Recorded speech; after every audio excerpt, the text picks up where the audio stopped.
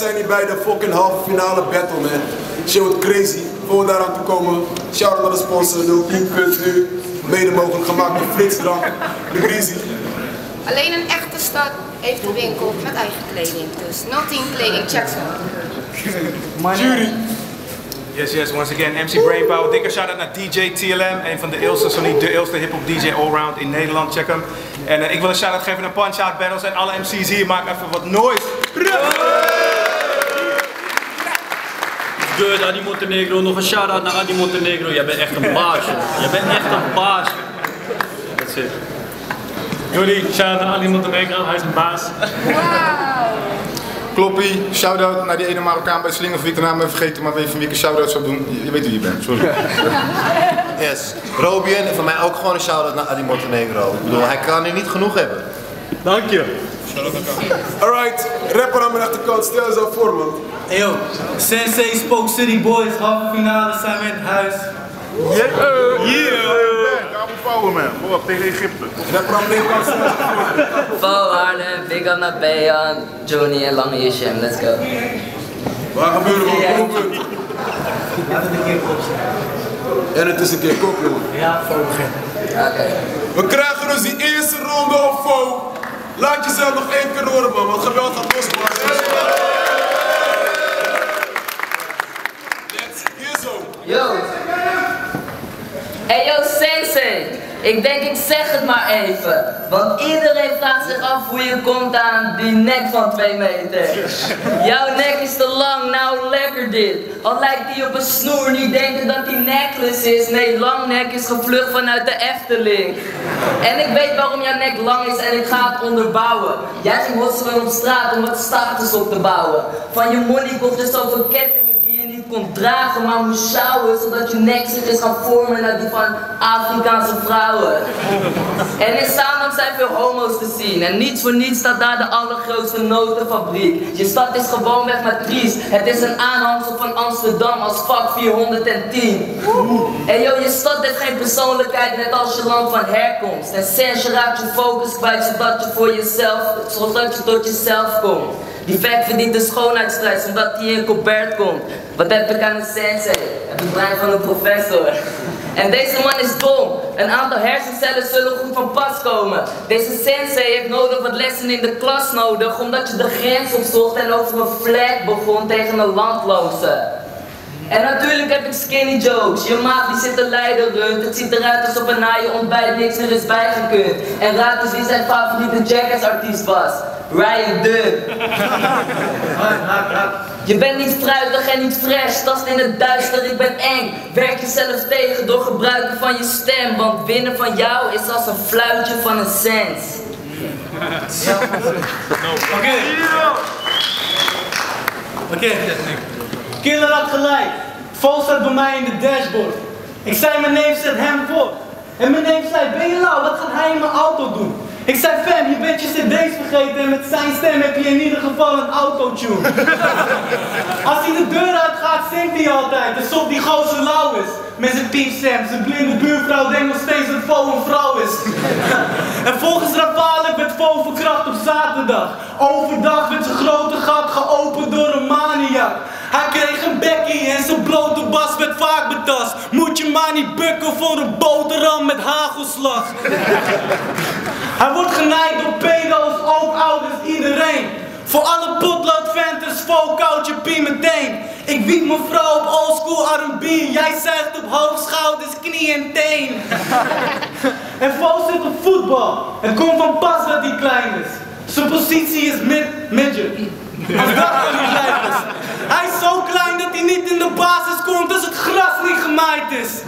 Als ik een panna geef, zie je de techniek waar ik veel mee scoor. Als hij een panna geeft, rent niet en zie je benen door.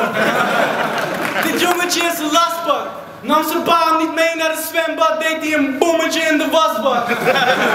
hey, en volgens de ouders moeten elke dag een feestje houden. Want als de buren horen dat hij doucht, denken ze aan een baby shower.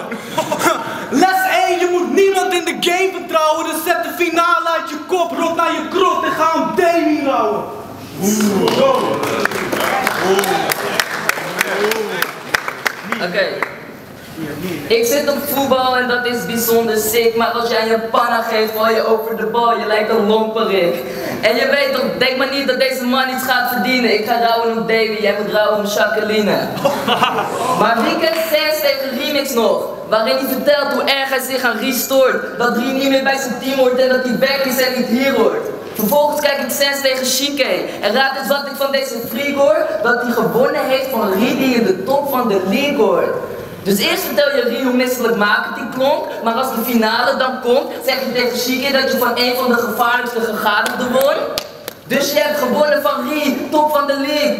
Top van de league? Kom nou niet praten, jij hebt het nog niet verdiend. Je won hem alleen door hem vies te verraden. Tegen Rie zeg jij slechter dan slecht. Maar tegen Chic is hij ineens de best van de best. Blijf chillen en spitten voor winst bij je flikker en geef je je met de mes in zijn nek.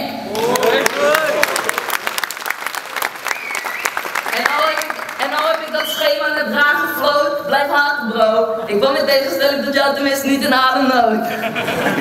Maar ik gun jou de winst, want dat doen vrienden tof voor elkaar. Maar toen je hoorde dat Rie met het toernooi mee wilde doen, was je door aan het slaan. Je flipte zo hard dat je hem op zijn kop wilde slaan. En ik zweer dit op mijn dood, op mijn trots, op mijn naam. Dat jij je vrienden opzij zet voor money en faam. Je schuift je homies opzij zodra het vorm van paper is.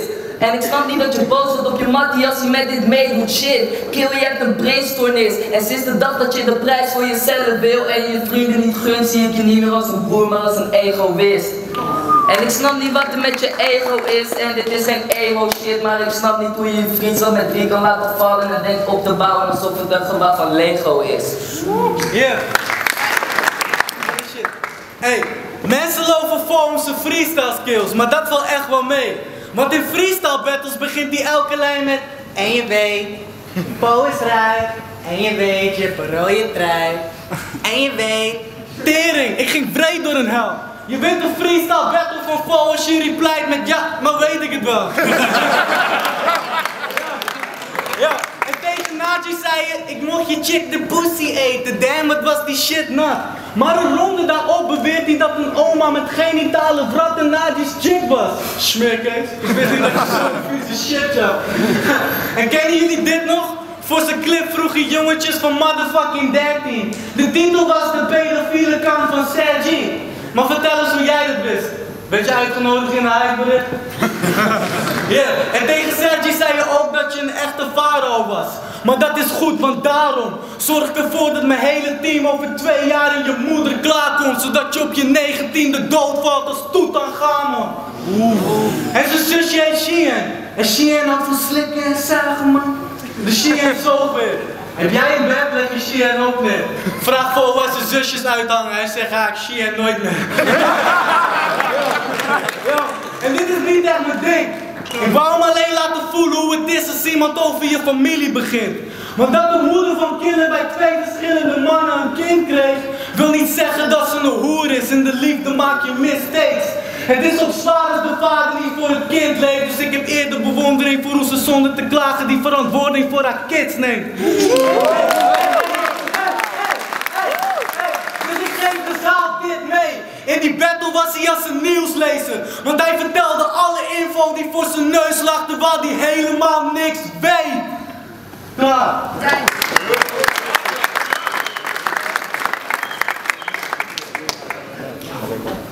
Hey yo, waarom let jij zo op Chique's low?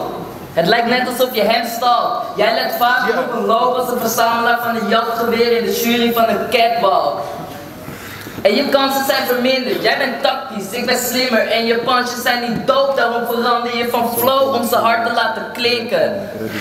En je tegenstander afleiden, dat doe je altijd. En je weet toch, denk maar niet dat je daarmee de prijs verdient. En denk maar niet dat je Belgenjoke kan blijven maken voor je thuispubliek. Want hoe de fuck kan je tegen Len Flow zeggen dat je geen 2 minutes wilt, terwijl je jezelf niet hield aan het tijdslimiet. En je weet, hij is gedrest in Inter Milaan. En ik ben altijd tactisch. Maar ik leg hem neer als Materazzi. Kill. En je weet, ik weet niet eens wat ik zeg, maar deze faker is net. Geef hem meteen op zijn bek, jongen, ezeltje strek. Shit, ik fok het op, maar dat maakt niet uit. Halve finale, jongen, gewoon ze gaan naar huis. Hey yo, Sensei, je weet dat ik je broertje ben. Maar ik geef geen fok dat ik zei over killers en maat. Dat ze een hoertje tent. Ah, fuck dit man. Ga door, ga door, ga door. Ga door. Het, ga door, ga door. Oh ja, en Kaapverdië is een land vol met lepra. Je voorouders zijn getekend voor het leven. Ze zijn verkracht door Portugezen als Nederland op het EK. Beter stop je zonder, beter stop je zonder vraag, vriend, want je opkomst is dramatisch. Hoe kan jij jezelf zijn? Je bent je roots verloren als Nani. Kijk. Oké, hey. Hey, voor die laatste ronde krijgen, laat je één keer naar. Heer, volgens aan mijn bro, ik heb Davy gedumpt, want het gaat niet juist. En ik appte, oké, maakt niet uit. je maakt het uit terwijl je niet eens wil dat het uitgaat. Ga er maar vanuit dat ze haar seksuele frustraties uit wanneer ze uitgaat. Tot je wakker ligt dat die fucking bitch bij je ander in zijn huis slaapt. Omdat ze als een nazi die christen wordt voor een ander kruis gaat. Dus Davy is bij hem weg. Maar hij schept ook de verleiding. Want als ze te veel naar zijn kapsel kijkt, denkt ze aan een scheiding. hey, hey, we gaan naar de casino, volk. Oh, daar mag je niet in. Nou, we checken de stripclub wel. Oh, daar mag je niet in. Ach, dan gaan we naar de hoeren, toch? Oh, daar mag je niet in. Fuck it, joh, we zoeken Davy op met een stijve piemel. Ah, vergeten, daar mag je niet in! Yeah, hey, je kwam achter de thuissituatie van Killer en exposed dat. Personals is waar je focus lag, ook vooraf. Je was er zoveel mee bezig dat je een hoop vergat. VWO-tentamens, vorige maand ben je bijna voor je school gezakt. Dus hoe kan jij Mr. Personal zijn die de beste is op persoonlijk vlak? Als je jezelf niet eens kon richten op informatie die je nodig had. Hey, dit is. Ik heb hem getrakteerd op McDonald's, s'avonds laat in mijn buurt. Ik gaf hem zoveel advies, die wanhopige fik. Bram bang voor zijn tweede grote verlies. Dus had ik hem concepten voor haar vader gestuurd. Ik hielp je met flowen op beats, want op de maat was je zuur. Voor hoe ik jou gesteund heb, moet elke andere rapper me betalen per uur. Dus we kunnen doen alsof het een battle is, maar de waarheid is puur. Ik ben geen tegenstander van je, maar je vaderfiguur.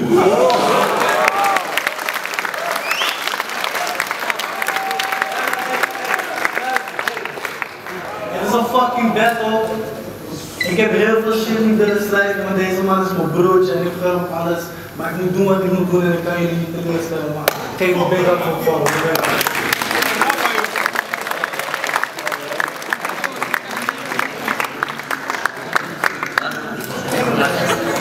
Hey, de jury gaat even overleggen, we zijn zo terug met de uitslag, man.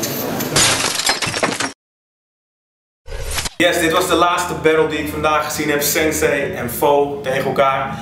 En ehm, kijk, weet je wat het ding met battlen is? Ik zou eerder je entertaint het publiek.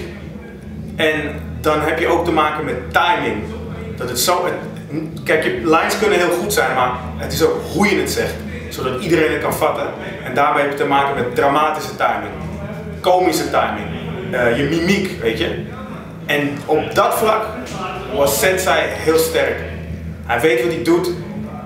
Ehm, hij heeft gewoon goede lines. Technisch klopt het. Het is, een, het, is een, eh, het is echt een battle verhaal. Maar die dramatische timing. Hij brengt het drama in. Hij betrekt het publiek erbij. Hij kijkt even in de camera. Hij kijkt naar Fo.